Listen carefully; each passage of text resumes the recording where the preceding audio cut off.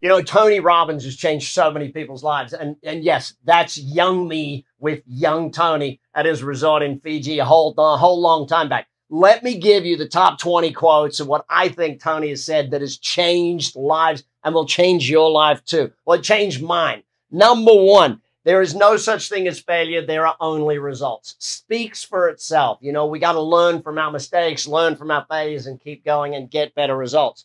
Number two, to effectively communicate, we must realize that we are all different in the way we perceive the world and use an understanding as a guide to our communication with others.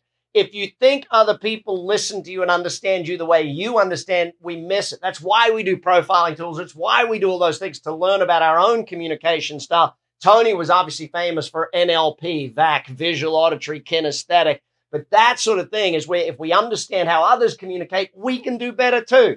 Number three, simple one. If you've always done what you've always done, you'll always get what you've always gotten. I don't know if Tony said it first, but it definitely stood out for me when he said it to me. I've always got to change. If I want things to change, I got to change first. Number four, Stay committed to your decisions, but hang on, the second part of it, but stay flexible in your approach. Committed. So once you've set the goal, don't change the goal, change the way to get to the goal, change the plan, change the strategy, change those things, but stay committed to what you've decided to do. Uh, number five, the path to success is take massive action. Okay. Um, he adds in this one word, though, that I think is probably the vital thing. He says the path to success is take massive, determined action, meaning you've planned it, you've determined it, you know what you're going to do out there to get the success. Thank you, Tony, for that one. Number six, for changes to be of any true value, they've got to be lasting and consistent. Quick, simple changes. And that's where I think one of the great things Tony does is he helps us delve into our values and helps us delve into who we are as people, not just our skill set shift and just changing those things on the surface type thing. Number seven, dead simple, but very true. There's always a way if you're committed. You know the old story of the chicken and the, and the pig, you know, when bacon and eggs, the pig's committed, the chicken's just participating. If you're committed, Tony's very clear on it. There's always a way. Thank you again, Tony, for that one. Number eight, Whatever happens, take responsibility. I love that one. Whatever happens, take responsibility. Good, bad, indifferent. Well, I put myself in this situation. Now, I know there's times in my life where I've really struggled with that because like, hang on, hang on. I didn't, but ultimately it's like, all right, I got myself into this. I got to get myself out of it type thing. Very important aspect of it. Number nine, there's no abiding success without commitment. I, I can't use, I mean, Tony keeps using this word commitment, and I think it's for a reason. It's a massive part of yours and my success. I, I kept learning that from him and I kept doing it today and day in and day out, focus on that commitment. Number 10, successful people ask better questions and as a result, they get better answers. Uh, I know as a business coach, for me, it's massively important that the questions I ask not only others, but really the questions I ask of myself. You know, when you think of what questions you're asking yourself, are you asking yourself massive questions? You know, how do I achieve a hundred or how do I achieve a thousand? How do I achieve a million? Whatever the question is, but are you going massive in your questions of yourself or very small in your questions of your success of yourself? Number 11. A real decision is measured by the fact that you've taken a new action. That's just the first half of it, by the way a real decision, and you know it's a decision because you've taken real action. If there's no action, you haven't truly decided. That's the second part of it. You know, a great decision, I was once told, brings up fear and excitement. Sometimes you got to let excitement win. But you know uh, what Tony's saying to us is only once you've taken action do you know you've actually made a decision. If there's no action, there's no decision type thing. Number 12, most people fail in life because they major in minor things. Uh, someone said to me the other day something along the lines of, you know, the reason most people don't achieve their dreams is they never actually go for it. You know, majoring in minor things, being really great at things that don't really make a big difference. Thank you, Tony, for the reminder on that one.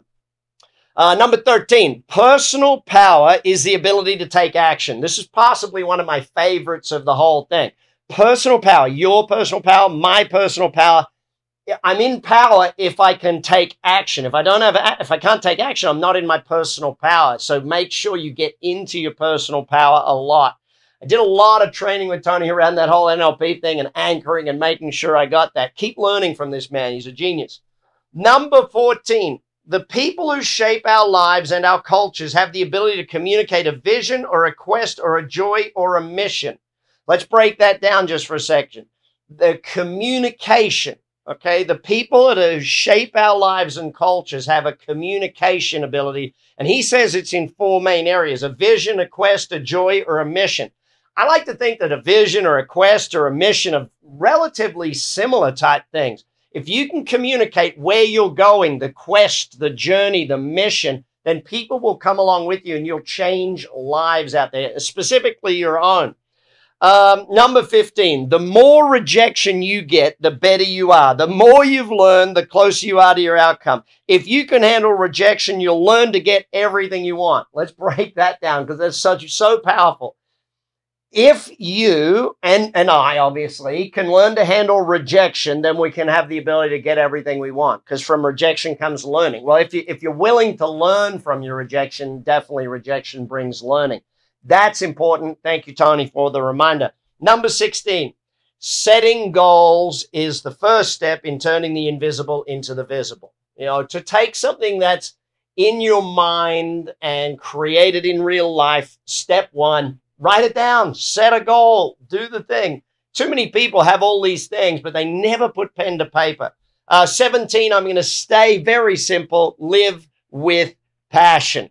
Tony, I, I, still remember as a young man, I think I was 20 or 21. I think it was his first ever event in Australia, sitting in the front row with a couple other guys, Simon and John. And uh, they went on to achieve amazing things, one in real estate, one in advertising. Here's me in coaching. And we sat there in that front row, and I remember the passion that came out of Tony in that event just blew my mind.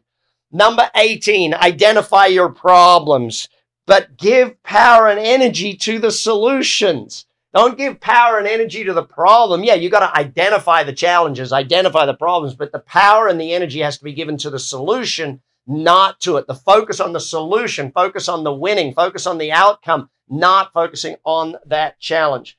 Number 19, leaders spend 5% of their time on the problem and 95% of their time on the solution.